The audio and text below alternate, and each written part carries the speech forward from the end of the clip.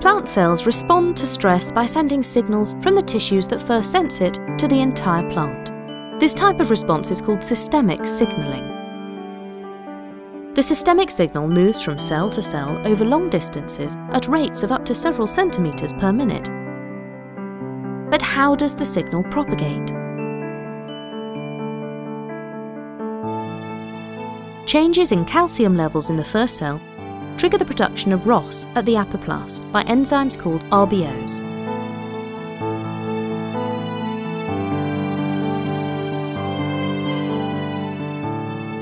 triggering more ROS production and opening plasmodesmata, allowing the signal to move from cell to cell. Once the signal reaches the next cell in the path, the process is repeated. And ROS production in the next cell is turned on.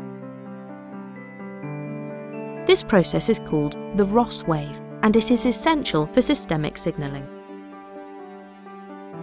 As a result, all plant tissues, even ones that did not initially sense the stress, become tolerant.